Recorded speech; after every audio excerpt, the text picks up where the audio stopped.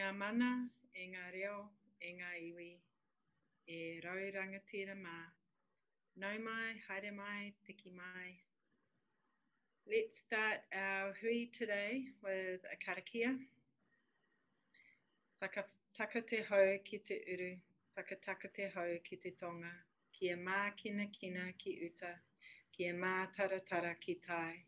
E hi ake ana te atakura, e tio, he huka, he hauhu, tihei mauri ora. Uh, kia ora hui hui mai tātou katoa. Welcome to our webinar today where we explore how we as individuals and organisations can hold ourselves accountable to the communities we operate in and how we build trust with stakeholders. Uh, ko Amanda e toku ingoa, he mahi ana au uh, hei kai rangahau ki Burl.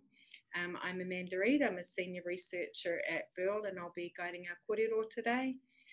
Uh, te mea tūtahi, a little bit of Zoom housekeeping first we'll be using both the chat and the Q&A functions today. We'd like to encourage you to use the Q&A function to ask questions of our panelists and to look at questions others are asking. If you're also interested in the answer to a question, just hit like and that will help us prioritize when we come to the Q&A portion of our time together. We'd also like to encourage you to use the chat function to comment, add in links, and to ask any technical questions, like if you're having Zoom issues. Um, my colleague Conrad will be monitoring this and will be able to help you. Uh, so panelist questions and Q&A and technical questions in kōrero in the chat function. Inaene, I'd like to introduce our three panelists, our three thought leaders for today's webinar. So first, I'd love to welcome Kate Frykberg. So Kate is an independent philanthropy consultant and a blogger on philanthropy and community issues. She co-founded and chairs Te Mukarau Trust and serves on the Ngāi Tahu Fund Committee and on the board of the Innovation Unit Australia New Zealand. Previously, Kate was Executive Director of the Todd Foundation and Chair of Philanthropy New Zealand. Kate lives in Pōneke with her husband, the youngest of her three sons, a dog, a cat, and several chickens. Kia ora, Kate. Mm. Next, kamini nui ki a koe, Manu Caddie. Uh, Manu has Ngāti Pukenga, Ngāti Haua, Tongan and Pākehā Whakapapa and lives near the beautiful Ruatoria on the east coast. He has a background in youth and community development work, evaluation, and social enterprise. He co founded Rua Bioscience, a pharmaceutical company that successfully listed on the NZX in October 2020. Manu has a passion for community led development and participatory processes, and he is interested in issues of accountability, trust, and transparency in decision making at all levels of society. Kia ora, Manu. Kia ora. Finally, a warm welcome to Craig Fisher. Craig is a consultant with RSM, specialising in governance, strategy, audit, and assurance advice, and a strong interest in sustainability of impactful uh, organisations. He has 30 years of public accountancy experience and is a recognised specialist in the not for profit and charitable sector Craig holds a range of governance roles. It's quite an impressive list, including Independent Councillor of the Auckland District Law Society, Independent Risk Assurance and Audit Committee Chair of Ngāti Whātua Ōrākei, Chair of the External Reporting Advisory Panel of the External Reporting Board, Chair of the Fred Hollows Foundation New Zealand, and a trustee of the Sustainable Coastlines Charitable Trust. He is also a late onset surfer. You can see his beautiful kainga and whaingaroa there in the background and grows macadamia nuts uh, among other passion pursuits. Kia ora, Craig. Kia ora. So when we first started exploring accountability, we were interested in accountability framework beyond bottom uh, lines, beyond financial bottom lines and in looking at the different ways that organisations are held to account by stakeholders and by communities. So we're looking at frameworks and mechanisms like the living wage, social accounting, social license to operate, and social impact. Um, so, because understanding uh, intergenerational well-being and kaitiaki of our assets and our resources means placing attention on how business activities, outputs, and outcomes could be better measured by well-being um, rather than by GDP. But it became clear that we couldn't talk about accountability without talking about trust. So my pātai to our uh, thought leaders today is what does accountability mean in your world?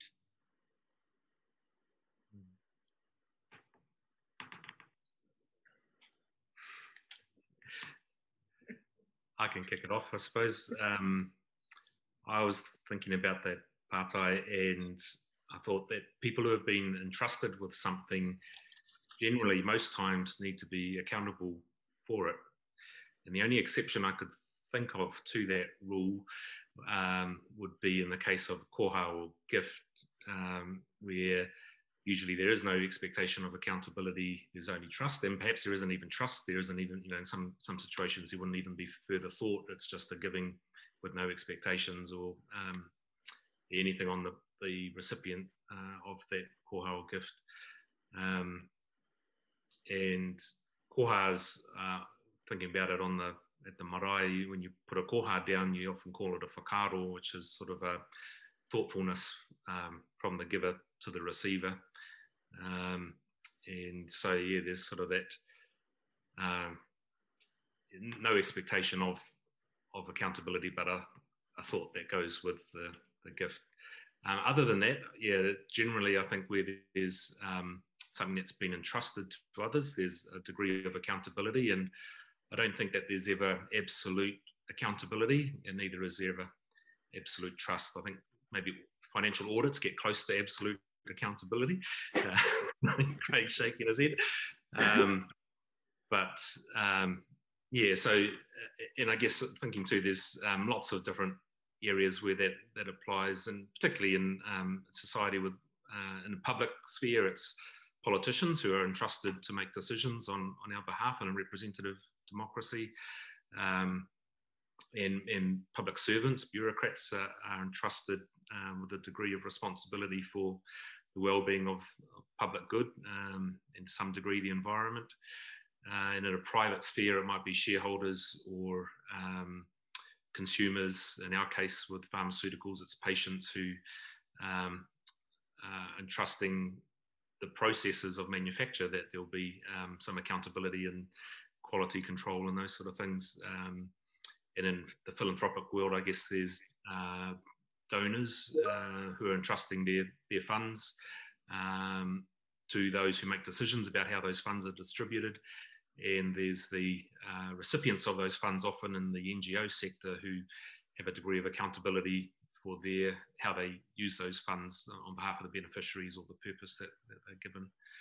Um, so yeah, those are just some sort of quick reflections on how accountability and trust works in my world. Um, and certainly as a public listed company now with Rua Bioscience, there's a lot of uh, accountability on the, the company, on the board and the management. And in the listed world, it's every six months. Um, when I was a councillor on Gisborne District Council, it was every three years. And it was interesting the different philosophies of accountability that politicians have in terms of uh, how much they are accountable to the voters and whether that's only every three years when it comes to election time and that's the only real accountability they have or whether there's um, an obligation to be more accountable on a regular basis. Um, you know, in, in the technologies facilitating greater accountability, I think the the online meetings where we can observe if we can't get there in person provides a greater degree of accountability for the way that issues are discussed and deliberated on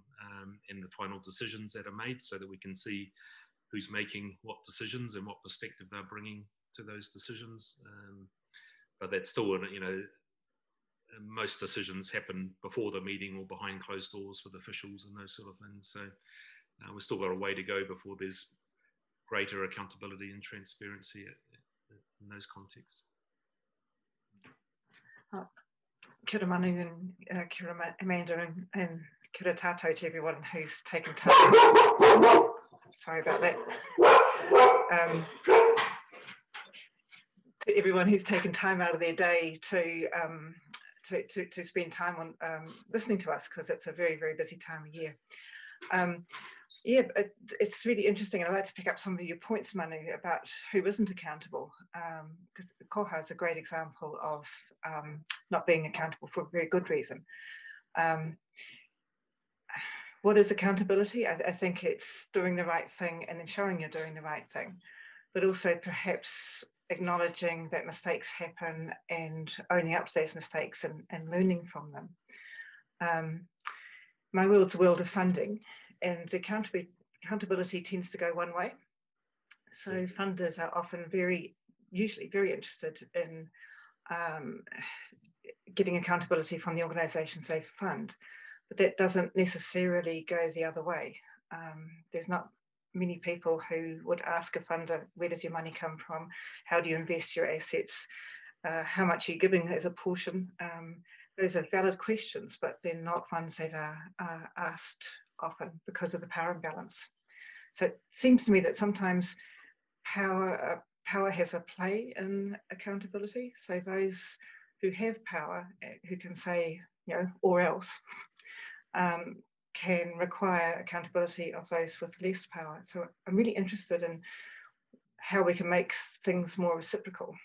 Um, another great example of lack of accountability perhaps is the big tech companies, so your Facebooks and your Googles, who, who holds them to account? Yeah, really interesting points there.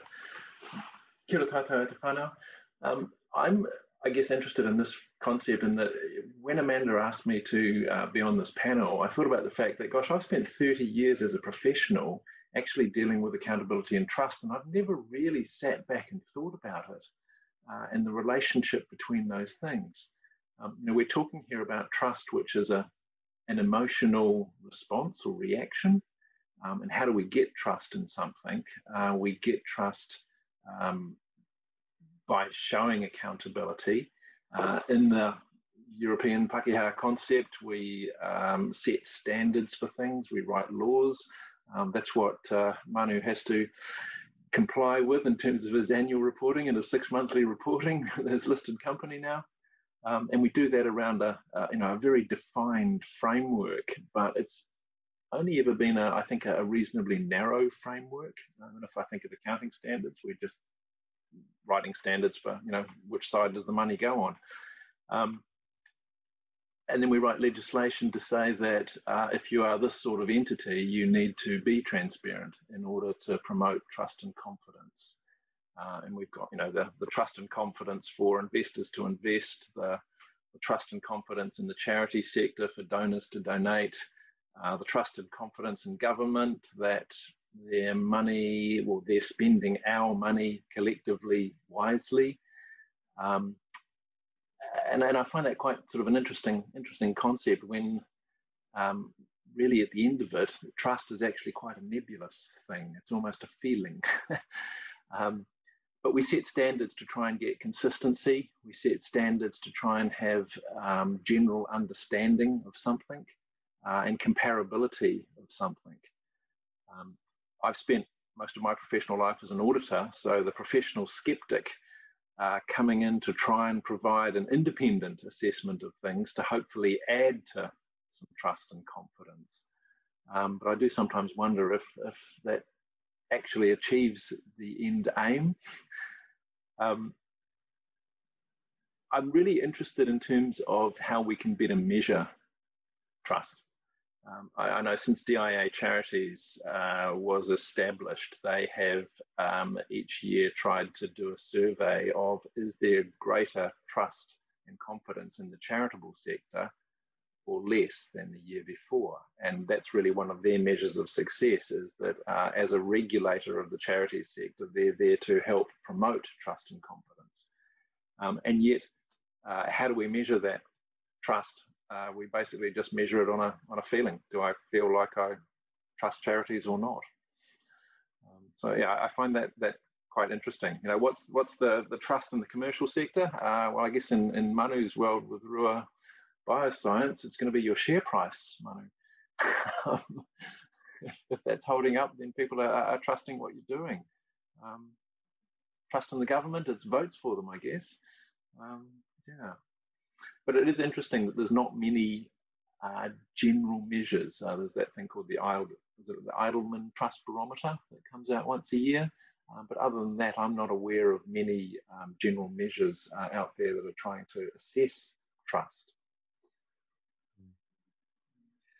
I was thinking as you were talking, Craig, about a friend of mine from um, Nepal actually, and he, he came over here and did his PhD um, on sort of peace and conflict studies and things after the civil war there, and um, and their public institutions and private are um, yeah, not in great shape. And um, he was amazed at just the, the way that society functioned in New Zealand and, um, and asked how we got here. And I didn't really have a great answer for that. Um, but it was, you know, thinking about that and the level of trust and the social contract, I suppose, that exists in our society and the um, annual measures that they do of nation states around the world and how New Zealand continually comes out in the top three um, most transparent.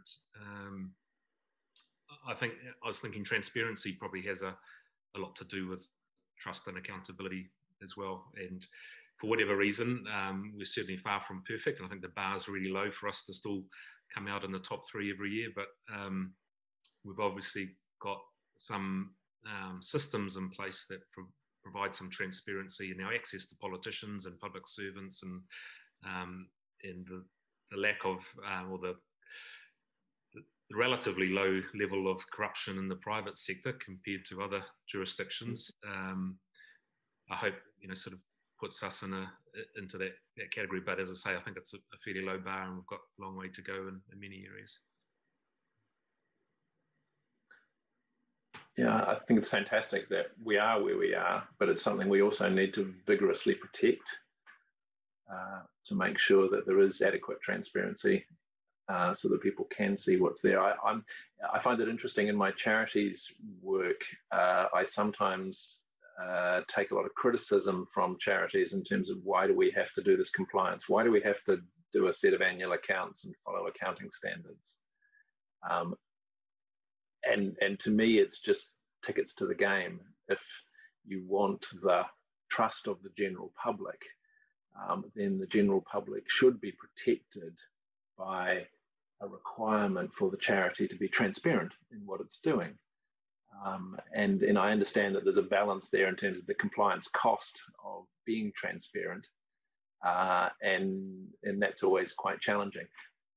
I think also that uh, it's getting possibly more challenging in some respects in that uh, in order to trust an organization, people now want to know a lot more about that organization. Um, the group of stakeholders has got much wider. Uh, and I guess the, you know, the, the, the, purest example of that is the company situation, whereas previously companies just used to put out financial metrics. Uh, and that was it, and that was enough. And if, the, if they were making money and they had a good balance sheet, well, that was good. They got voted successfully in their share price.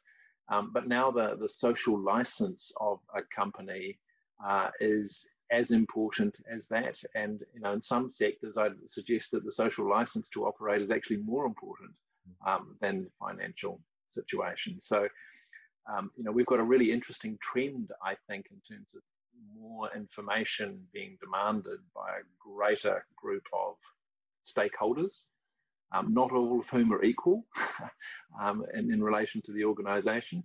Um, and, and we've got that happening in all three sectors. We've got that um, in the, the commercial world where, you know, in a company situation, um, concept like integrated reporting is growing and then really integrated reporting is trying to show your holistic strategy as an organization and the fact that you don't just make money but you also employ people and what impact that has and what your impact on the environment is and, and all of those things so that you can show a, a sustainable organization um, we've tried to do a similar sort of thing by legislating in the charity sector for service performance reporting.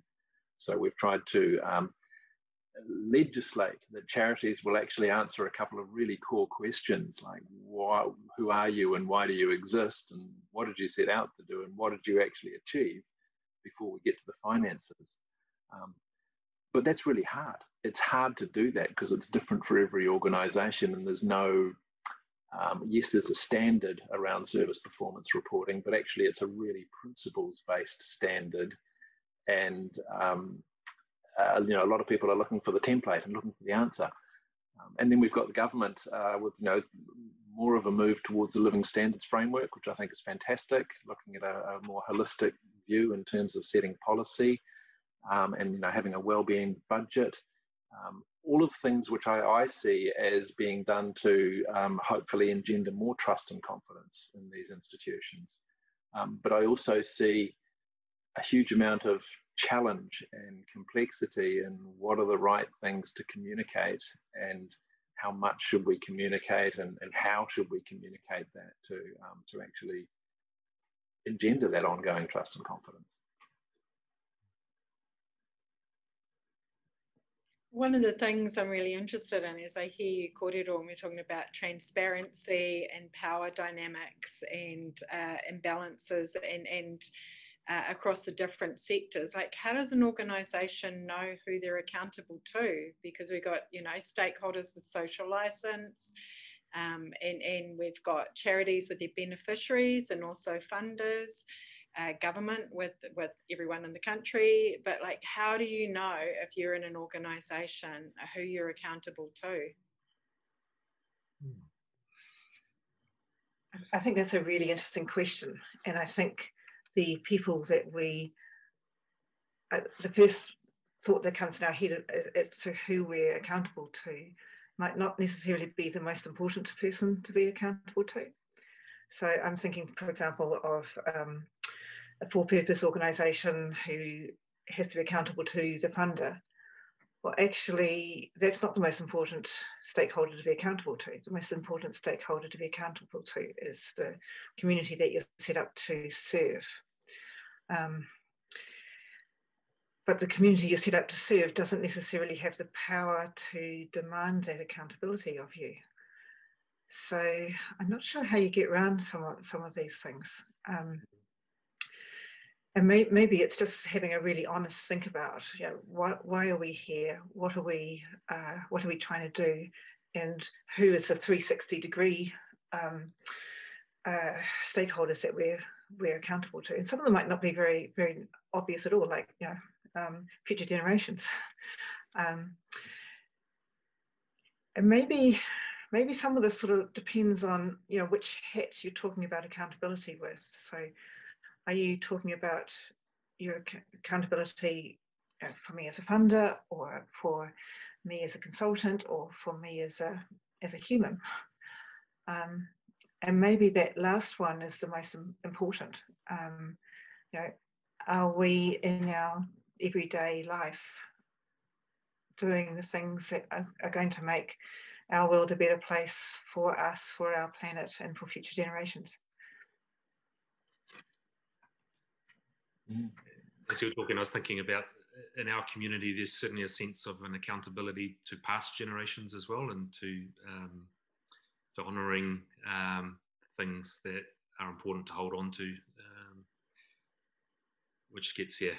Um, you know, when you go into the wharenui, um, into the meeting house, and all the photos of the tupuna, the ancestors are, are, looking down on you, you certainly have a sense of actually there's still a strong um, obligation to uh, protect those things that those people um, thought were important as much as what we think are important today and, and, for future generations as much as we can can know of them. Um, and it's also beyond people as well. It's the to the natural world and um, and how do we make ourselves accountable to non-human uh, stakeholders in our activities um, and I guess some of the ESG the environmental reporting um, frameworks that are being developed can provide a degree of that. Sometimes it might be setting up an entity who's got human representatives on behalf of um, a taonga species or a, um, a, a, river or a, yeah, um, native plants and organisms and, and, so on. So I guess yeah, we've got to be creative and and as Craig said, go well beyond the financials in, in those areas. Yeah, I think it's got a lot harder. You know, it used to be um, quite simple in some respects. Uh, and you look at things like company law. You know, who's a, who's a director responsible to? Who's responsible to the shareholders, and that's that sort of thing. Um, but now, you know, we all appreciate uh, that um, in order to operate, you need to be much more cognizant of a wider group of stakeholders. And then it does pose that really interesting question, Amanda, doesn't it, in terms of who are those stakeholders? I've um, been a bit of a thorn in some of the organisations that I've been in, and that I've um, been lobbying for stakeholder mapping. Um, and actually, it's a, it's a really interesting exercise to you know get a big whiteboard and go right, who's who in our zoo, um, you know, and and it's interesting because the deeper that you go into it, the more complex you realise it actually is in terms of the different relationships that any organisation will have.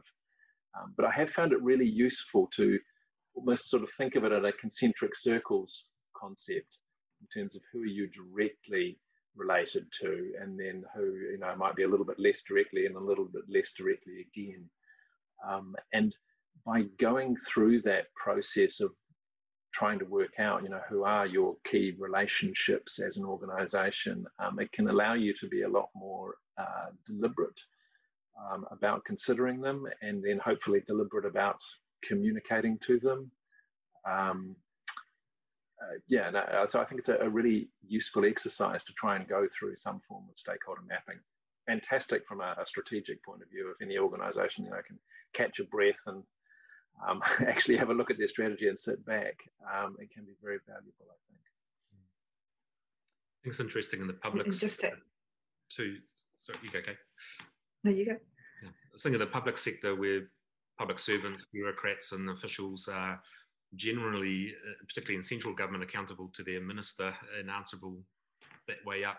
Um, and while we call them public servants, it sort of has to go through the minister's office before it gets to the public. And um, I wonder if there's some examples of um, breaking down some of that hierarchy and, and making those public servants more accountable to the communities that they're intended to serve beyond whatever the, the politicians and the policies of the day are, understanding that those ministers like to have control and, and be seen to be doing the good things. And when it comes to the not so great things, they quickly blame the bureaucrats. Um, so if there's yeah sort of examples that people can share of it um, happening, it would be great to to see. I don't know how we get away from it.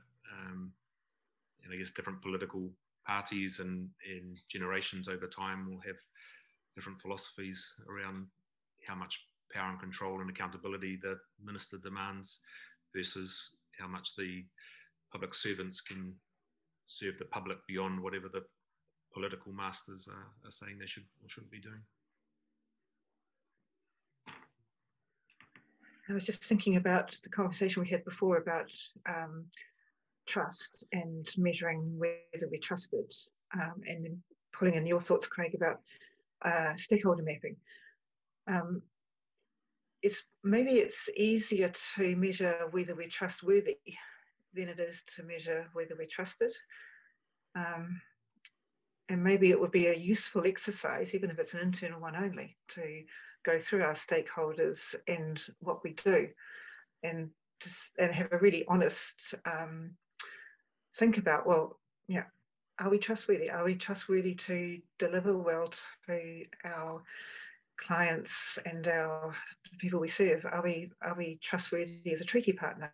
Are we trust trustworthy in you know, how we manage assets? Um, yeah, just a thought. Yeah. Interesting thought. Yeah, thanks for that thought, Kate. Because one of the things that I'm curious about is that, you know, at this point, we've started off talking quite, um, I guess, outward looking. It's like here we are as an organization with stakeholders and how do they, you know, what's our relationship with them? But we have stakeholders internally as well. We have our employees and we have cultures and processes and policies that are internal. So, what's the relationship between internal accountability and trust and external accountability and trust. How does what we do as an organization or within our organizations flow out then to our relationships with stakeholders? So it's beyond, uh, you know, formal reporting.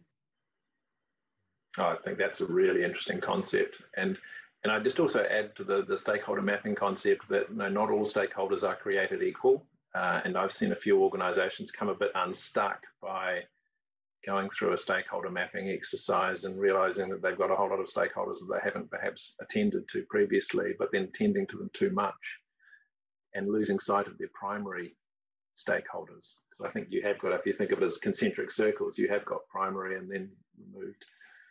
Um, my personal view on what you've just posited there, Amanda, is that unless an organization can be true to themselves, they can't hope to be true to anyone else.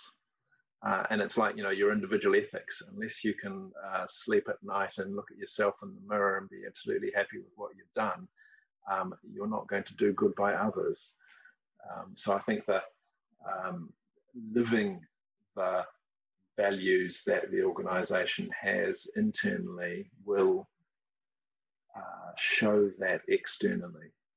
Uh, and I know that's something as an organization, you know, someone who, who's worked in an organization that's employed lots of people in the past, that's always been a, a really big thing in our professional team training is um, absolutely making sure there's really strong core ethics uh, in place. Otherwise, um, that's going to bleed out. Yeah, we've, we've been discussing that uh, in the company recently. You know, we have a set of values that are, you know, fairly generic, but ones that um, we espouse publicly. And the question is, how do we measure our internal performance and adherence to those values in the way that we look after each other and, and um, behave, you know, within the hierarchy of the company or within the relationships that we have um, with uh, suppliers or with um, uh, you know research partners or uh, the relationship between the board and the management and management and the rest of the staff and so on. So uh, developing measures, which you know you don't have to measure everything in the world, but it can be a helpful way of moving beyond just these are values that we we aspire to, but we don't actually know whether we're living them or not. Um, developing some what does it look like on the ground and challenging those and, and reviewing those measures on a regular basis to say are they accurate and useful um, for telling ourselves whether we are being true to those things that we say we're supposed to be about. Yeah, I'm a, I'm a big champion of, of values um, lived in, internally in the organisation and externally. Um, I think sometimes we sort of go through strategic planning and we sort of say, oh yes, integrity and excellence and da da da da, and then we, we never drill down onto, into what they mean. So I think if we if we are very intentional about values, not only the words but how those translate into behaviours, like so that each value has a set of behaviours associated with it, which you can then use. You can use in the boardroom to say, well, actually, no, um, I don't think that was um, giving a fair chance to X because we value fairness or whatever it might be. Um, they're only useful, I think, if they're applied um, and applied internally and externally. Yeah, so in terms of being accountable internally as well as externally, um, I think values are a really nice way of just weaving all of those things together. I know when, when my first career was in IT, and my husband and I had a had an internet company way back. Um, the our, our, sort of business mantra was look after your staff and look after your clients, and then everything else kind of falls and seems to fall into place. Um, which is sort of a, a, a, kind of a really simple, you know, look internally and look externally and, and, and value your people. Someone once said to me, you should be able to make friends from business and make business from friends. That's the, the true sign of being an ethical operator. Um, and I thought that was really interesting. Um, I'd also add with my accountant's black hat on that Enron was um, lauded for their values, um, which obviously looked really nice on the wall and to MBA students, but um, some would say they didn't live them, biggest corporate collapse in, in history. I was actually listening to a podcast the other day about how the Enron email database has been used uh, to inform, like as, as a deep data source to inform things like looking for terrorists, because it, uh, it's quite an innocuous database, thousands and thousands of emails. Um, I guess flowing flowing on from that, like uh, we talked about business values or organizational values, um, and thinking about values and kaupapa or your purpose of your organization, how does accountability and trust flow into decision making from uh, from kaupapa, from your purpose and from your values? Uh, I'll kick off. I, I think it's um, really important, firstly, to be laser like clear on what your purpose is. And I see a lot of organizations that actually can't articulate that very clearly. Uh, and if that's the case, it's then very hard to measure or to demonstrate um, what you're doing. Uh, so I think that's a really big thing. And, and that's that challenge is being borne out, I think, in the, the growth of impact reporting uh, or service performance reporting or whatever else you, you want to, to label that by. But I think impact reporting is quite a good blanket term. Um, a lot of organizations are really grappling with how do they report their impact. Um, and often that grapple stems back to, well, are you really clear on what it is that you're doing and what you're doing it for? So I think if you can get clearer on those basics, like why do we exist and what's our theory of change? What are we what are we doing towards that purpose? Um, it will be much easier to report on that, and through reporting on that, give people confidence in what it is that you're actually doing. Yeah, I'd like to pick up on that. I, I think there's two really important questions that you know we should be asking on a daily basis in our in our organizations. And one is uh, if we have a choice which of these these two things or three things is going to um, make a greatest contribution to our vision for the world. So you know a vision statement should be a tool which is used every day. Um, and the other really important question to ask is you know what's the right thing to do here? Or sometimes and a tricky decision that might be, well, what's the most right of, of or occasionally it might even be what's the least wrong. But uh, being laser-like clear, as you say, um, Craig, about what our what our mission and vision is, and using it uh, on a daily basis, and also just constantly asking ourselves, what's the right thing to do? I think those uh, are really helpful for kaupapa and accountability. Mm with, with our company, we, um, my co-founder and I, we, you know, our purpose in setting it up was to create jobs and economic opportunities for the, East Coast and the Ruatoria community where we live. Um, and we went out to the community and asked them to support that um, vision and kaupapa and purpose. And they did. They opened their uh, wallets and bank accounts and contributed um, funds to begin with. Um, and we went out to other um, potential investors and asked them to also um, help us. And we explained that part of our purpose was still around job creation and so forth. And um, then we went out to institutions and big funds and uh, eventually to the public markets and um, have tried to ensure that that purpose remains in the DNA of the company and, um, and that investors know that it's not just about uh, financial returns on their investment, but there's uh, social impact that this company is committed to, and um, and it's being tested, uh, you know, in our own reviewing our vision statements and um, goals and priorities and things. We constantly um, have to go back, and I'm been so proud of our board that you know that they weren't the co they weren't the founders um, and our management team and, and, others that have come around. Um, we feel like we're, we're still having integrity to those shareholders. We've still got a profit motive, but there's this um, social mission that remains at the, the core of the company.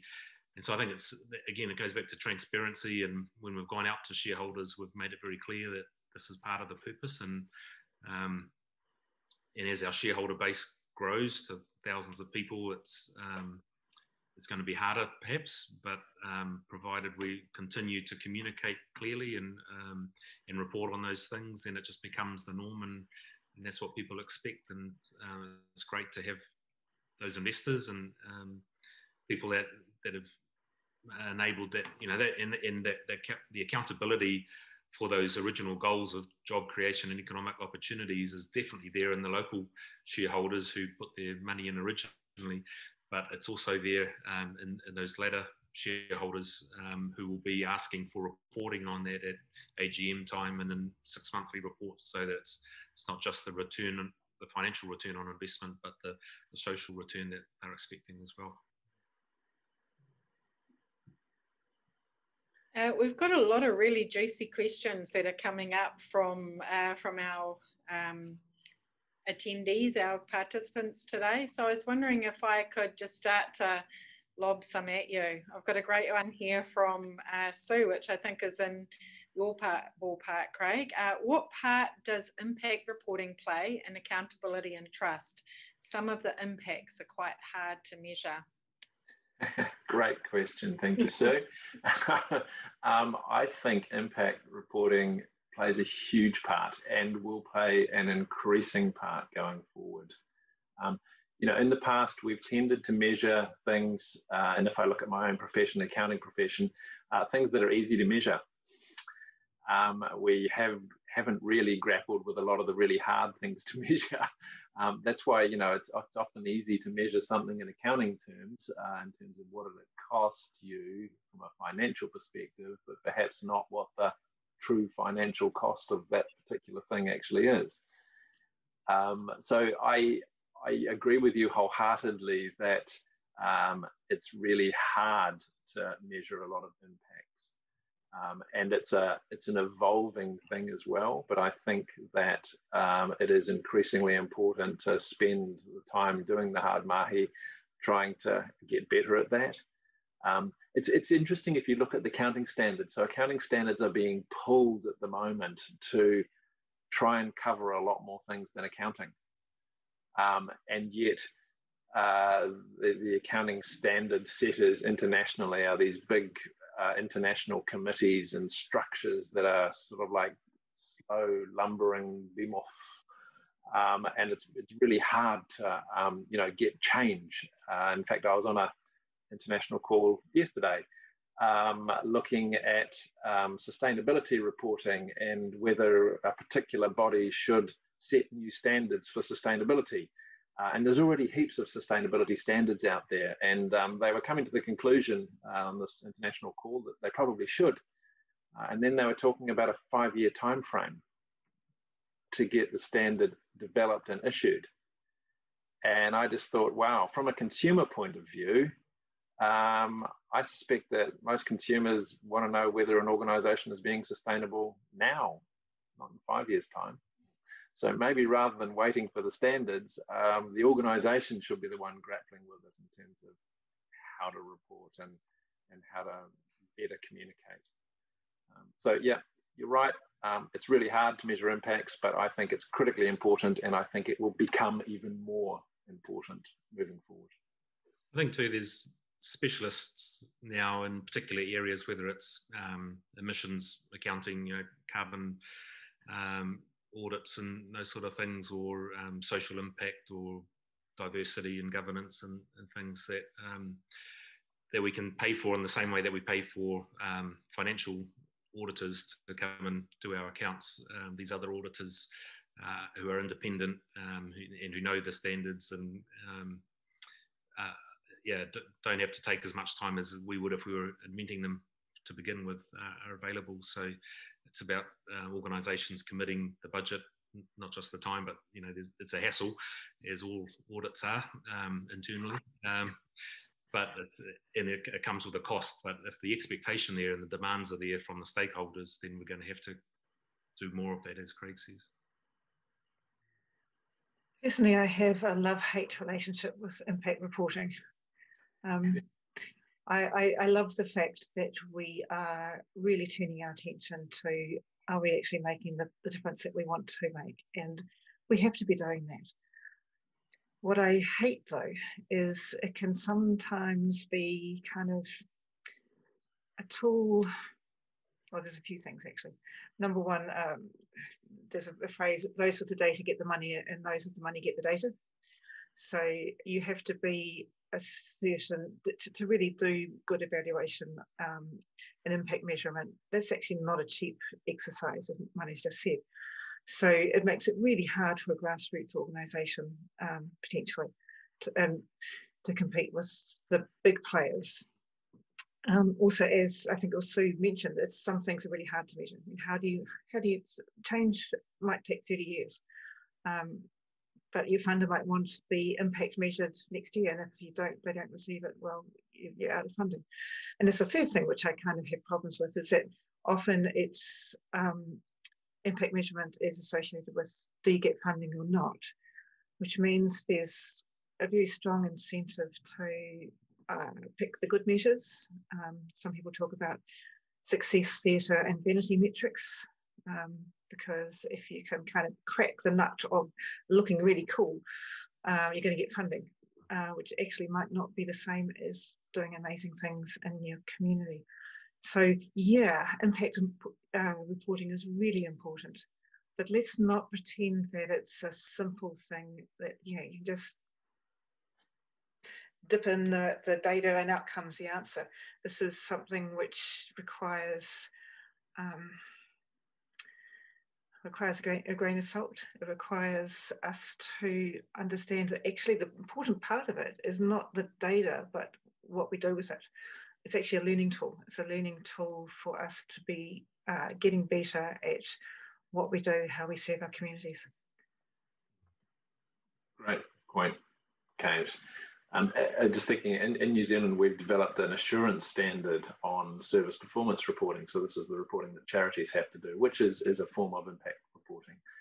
Um, and one of the hardest things about developing that assurance standard has been um, providing guidance, direction to auditors to be able to call out people just cherry picking so um, I'll just report on the good stuff this year. And oops, we didn't do so well in this particular area, so let's not report on that this year. Um, and that's actually really challenging in terms of well, what are the right things to report, and then the, the fairness and the balance of that reporting. Um, so yeah, it's, and it's already posing quite a challenge actually for some auditors who are getting their heads around it and, and starting to face these issues with people very motivated and very concerned from a funding perspective just to report what they believe are the right results, um, the results that will appeal to their funders and therefore um, enable them to get more funding. And maybe that's actually a useful thing to, to pick up on because I mean, the, the statement of service performance, I think, is a brilliant thing um, if it's used well, because it, it allows you to say, yes, this is what this is what we're trying to do. This is what we did um, this is what worked, and actually this is what didn't work. And from a funder's perspective, it's actually really refreshing to um, see organisations who are saying, well, you know, these things are fantastic, these things are going to require working on next year. So, so maybe maybe we need to let go of the thought that we actually have to appear to be perfect. Maybe it's better mm. to um, be honest about the learning process. Yeah it can be a big barrier to innovation as well, and particularly in social development circles, if your future funding depends on positive outcomes. Um, you don't tend to take risks with new ways of doing things, so we keep doing what we've always done, and in very uh, few times are the supposed beneficiaries of the services actually involved in uh, the reporting and accountability, and for good reason. We don't want to stigmatise them further and and so forth, but it's it's a really challenging to um, yeah, work out what contribution we are making to positive outcomes in a, in a whole community beyond just individuals as well. It's, it's ironic, this fear, isn't it, when we all know that we learn more from failure than we do from success. Um, you know, you, you remember your failures because they hurt, and you hopefully uh, learn from that. And yet we don't like to report it.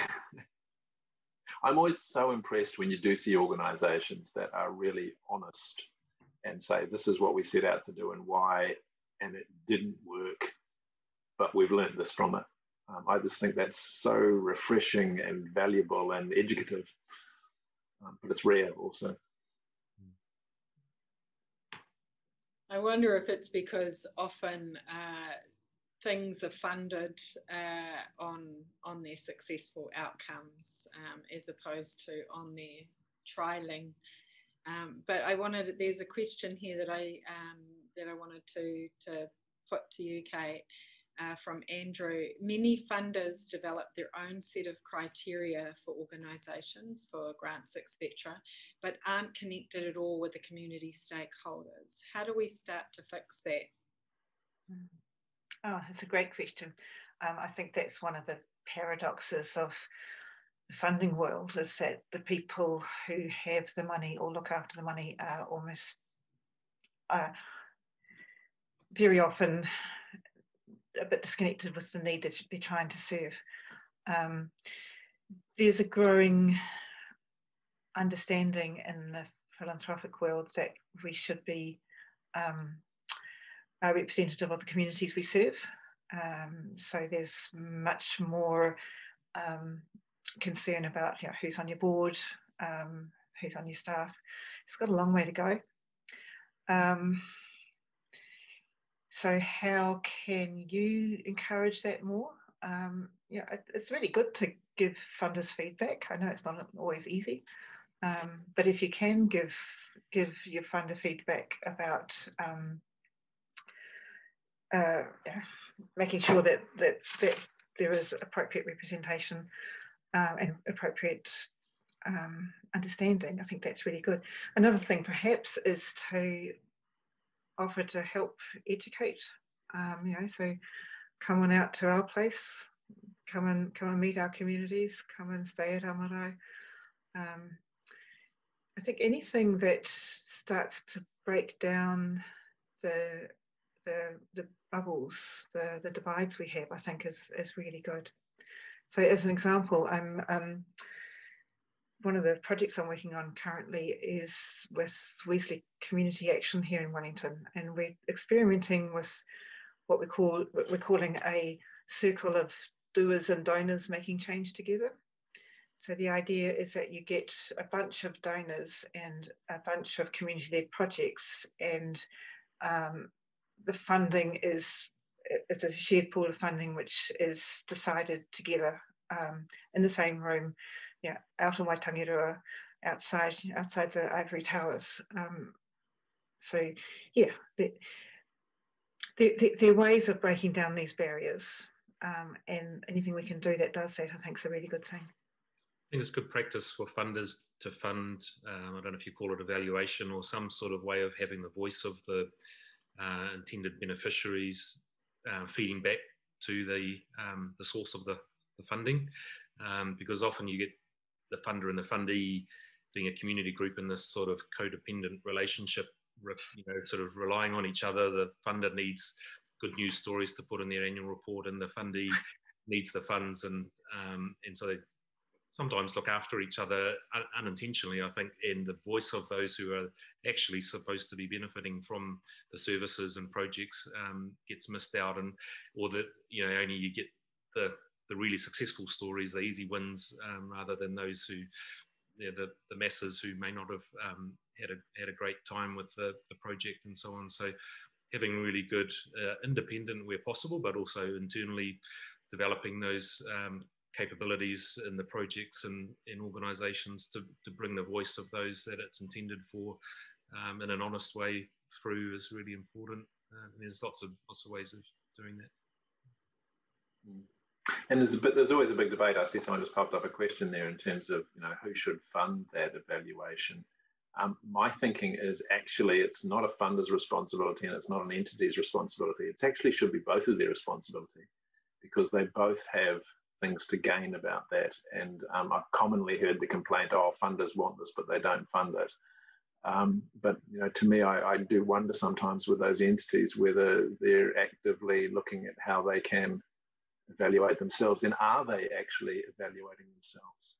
Uh, you know, I think it's the one of the most powerful things that any organization can do is to have that strategy session every year where you take a really cold, hard look in the mirror um, and ask yourself some painful questions as an organization. Um, you know, even like, are we actually meeting our purpose? Should we still be here?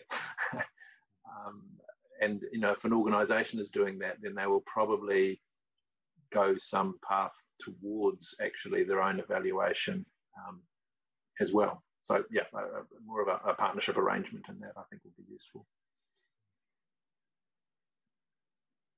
I've got a really juicy question here that I'm uh, going to, to put to you all, um, but perhaps start with you, Manu. It's from Demi. Um, she's she was interested in the, the, the korero that you were saying about future generations, Kate. Um, so we talk about sustainable land management a lot across environment focused agencies. Our interventions to help with that are usually for how long we have funding for rather than how long we have land for or who will use that land in the future. Māori, for example, have a 100 year view of their land, while some iwi it's uh, 500 or 1,000. Um, and yet our policies to support their aspirations on looking after their land really do not offer such a view. It's also the case with climate change adaptation, where we talk about resilience to climate change, but without a view of supporting future generations to be resilient. Um, so it's it's more kind of like a what are your views in this uh, on this topic? Yeah, it's a great um, great question. And I guess it's um, we can only do what, what we can. We're not going to be able to solve all of these issues that are intergenerational, and and it's about incremental um, change in building capability and capacity. So I think those are still measurable impacts that we can do in building capability in communities to take care of those issues and and being optimistic and hopeful, but also intentional about um, building on the um, success and failure of the previous generation. So, um, not taking all responsibility for it, but doing what we can uh, with what we've what we've got. But certainly, yeah, there's um, some massive issues there. I think about the erosion issues in our part of the country that are just there's lots of you know there's been planting of trees for 20 years 30 years and um, and that doesn't you know in many cases the particularly the pine forests now are causing as much problem as um, the bare land was. Yeah. So uh, when we clear fell them, um, so there's these unintended consequences, and into each generation is going to have to deal with the the issues that the last one left for them. But hopefully we're we're learning along the way, and uh, and sometimes the learning and the, the research that can be done and shared to um, you know that's as important as the actual action on the ground. Um, but we're you know we're actively looking at ways to address what we can, but some of those problems are not humanly possible.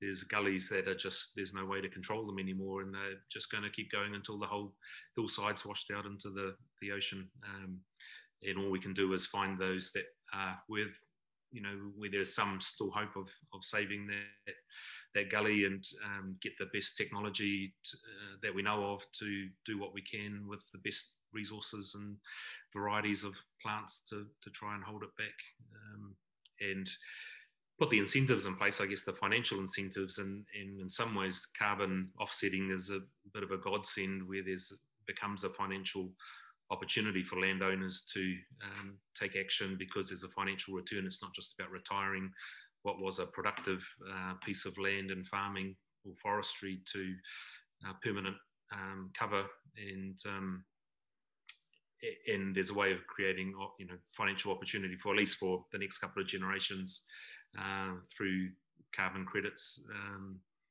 so I think you know there are some of those financial incentives that we can put in place uh, as well. But yeah, some big issues that I don't have any answers to, but um, some smart people are working on them. Think it's a really interesting challenge that one in terms of the the entity that is the kaitiaki, the entity that is the steward that's doing the, the mahi there, that's not getting funded for the long term, um, they're the ones that have to hold on to that long term view absolutely tightly and consistently. Um, and, I, and I love the Te Ao Māori perspective of you know, having a, a representative of your mokopuna's mokapuna. um, and that's their one role. Their one role is to present that voice and remind everybody when everyone else forgets that voice. Um, and I think that's really powerful. And, and if an organization can do that well internally, hopefully it can amplify that voice to funders and actually get them to see the value of that as well. Um, you know, we're always going to be stuck in short-term funding cycles. Um, you know, we live in a three-year electoral electoral cycle, which is, is madness, you know, in terms of trying to fund long-term generational issues. Um, but it, it takes the a kaitiaki to be that voice, to actually keep um, keep delivering that message of the need for the long term uh, until they're absolutely bored with the message, but they just need to keep consistently doing it uh, in order for that message to be heard. One of the the positive initiatives in the last few years was the Land and Water Forum, and while it didn't succeed in many many ways, what it did show was that providing a deliberative process where different interest groups come together and have to try and understand each other um, and getting everyone around the table can be an effective way to move forward as a community. And thinking about, and that's sort of worked its way down to catchment level um, groups where we're trying to bring together uh, farmers and foresters and kaitiaki groups um, to to understand each other's perspectives and try and, and find a common ground and, and move forward together. So our society doesn't tend to do that deliberation very well and bring together and often competing interest groups in a safe way, whether it's race relations issues or economic and environmental issues. Um, often we're you know at loggerheads with each other and the farmers won't talk to the environmentalists or vice versa. But if we can create safe spaces for people to have the dialogue um, we can actually see some some real progress in politics as much as in uh, economics and business and environmental protection. Yeah, it's a tricky. It's gosh, I'm a pretty positive person generally, but you know when I think of climate change and the outlook, you know, 200 years for our mokopuna's mokopuna, it's there's some it seems to me we need to completely rethink how we live and our relationship with with Papatūānuku Mother, Mother Earth. Um, there's too many of us consuming too much, but that's the whole basis of our economic paradigm. So changing that, you know, it's going to be difficult for government to be elected on the basis of, um, oh, let's let's consume less, let's have less economic growth. Let's have let's have fewer jobs. I mean, these are just difficult, difficult things. Um, I think it's up to us, I guess, as people, um, to be to be that voice. That's you know that that our relationship with the earth matters hugely, and um, our long-term survival depends on actually changing how we live.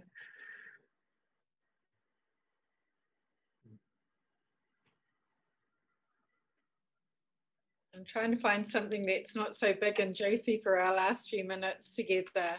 Um, but I guess one of the one of the questions that we've got here um, uh, from Tessa Ho, um, who's asked if there's any research on philanthropy which simply gives support to not-for-profits in a range of service um, and uh, it says in philanthropy which has a defined purpose and define the changes they wish to achieve. I guess it's more around the the research. Is there philanthropy that supports a wider range of services as opposed to um, like an outcome?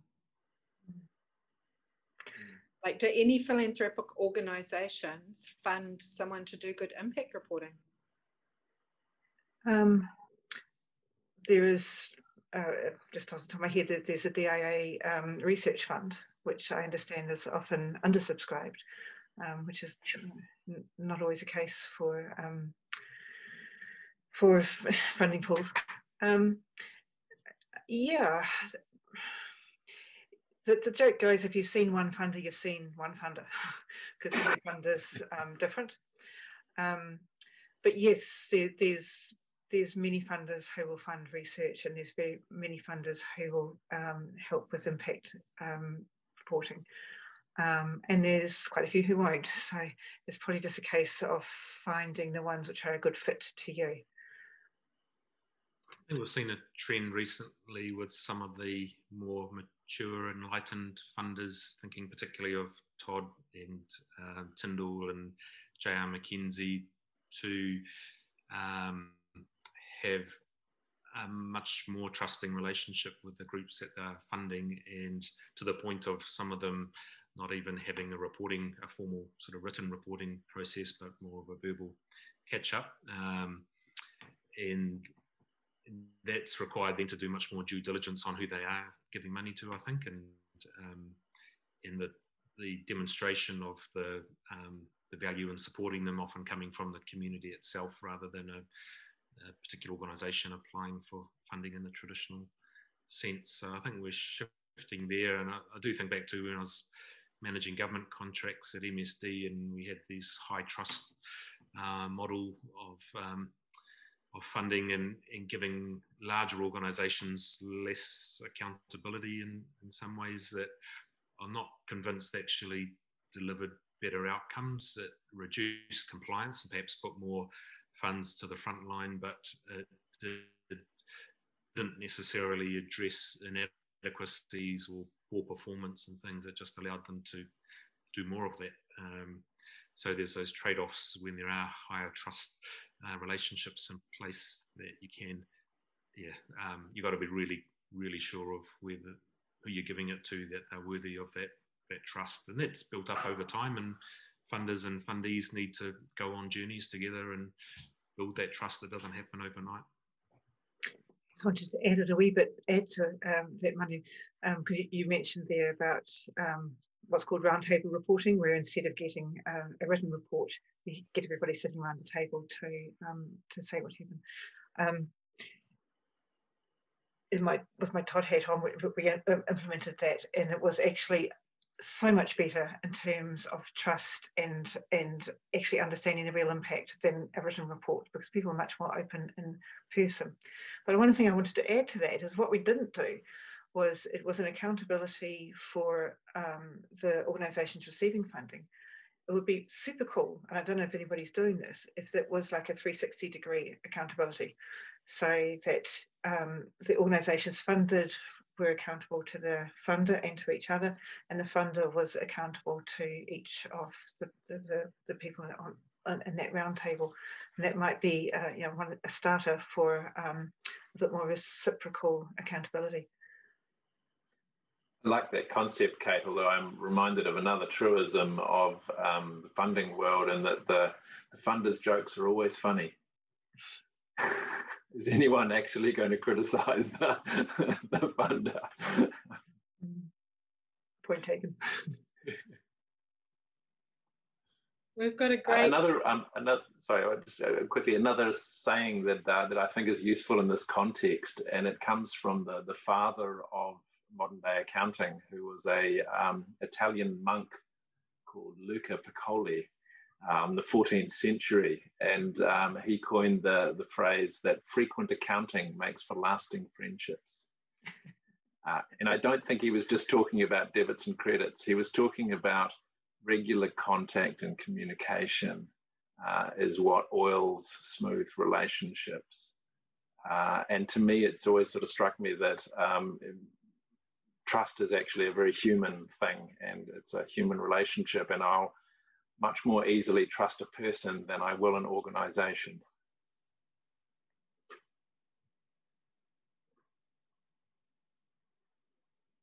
I think that's, uh, for me, that's the core of accountability and trust is it's around relationships as opposed to transactions. And we've got two, they're not questions, but they're comments that I just kind of like share to, to do a little bit of harvesting of your last thoughts. One's from David who says, perhaps trust is a perception in others that we hold ourselves accountable to standards that they value and support. Um, and the other one is from Sue that is trust not built on demonstrating that you will do what you say you do consistently. So, any last thoughts on trust, accountability, say, doing what you say you will do? That feels a bit like Dr. Seuss.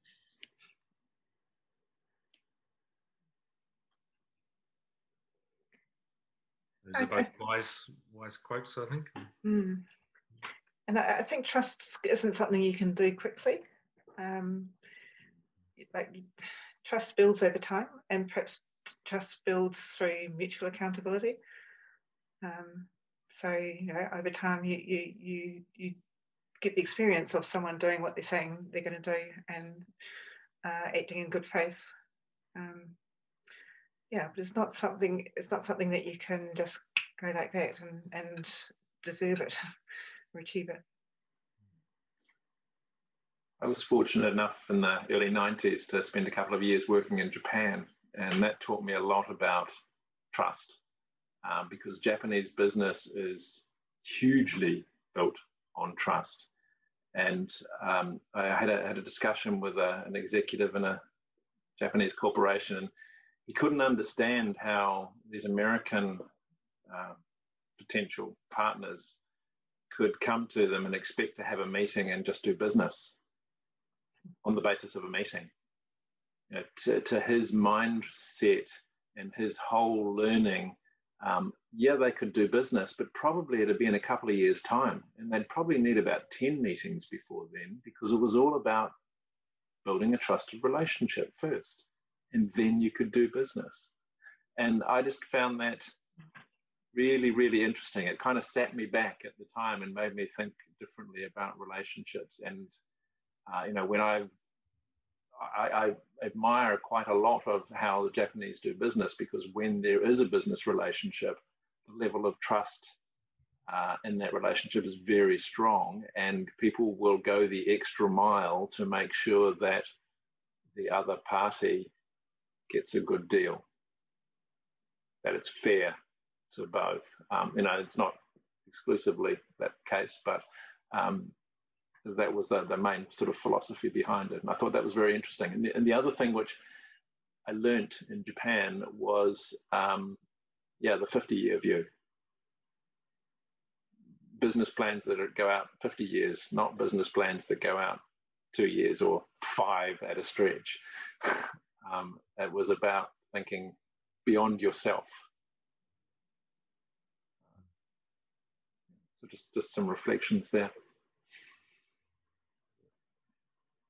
I guess that's one of the challenges with trusting government um, is that by definition they sort of have three-year horizons most of the time, and I guess again if we can support politicians and um, and, and, those who work for them to um, build bipartisan or multi-party um, consensus around issues, we can perhaps tackle some of those big thorny issues that seem too hard, particularly in the political cycle, to do much of use about.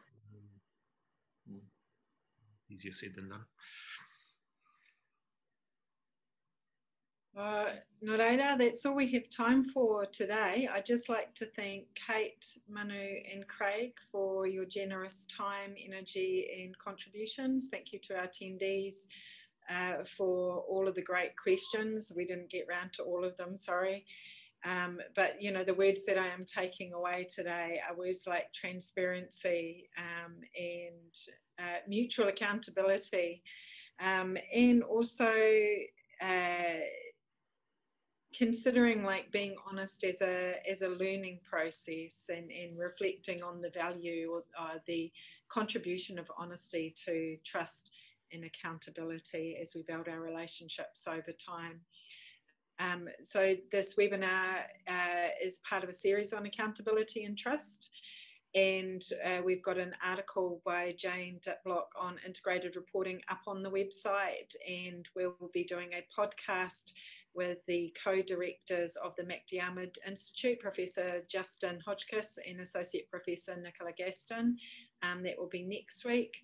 The webinar will be recorded and will uploaded to the website by the end of the week, so you're welcome to, to share it around.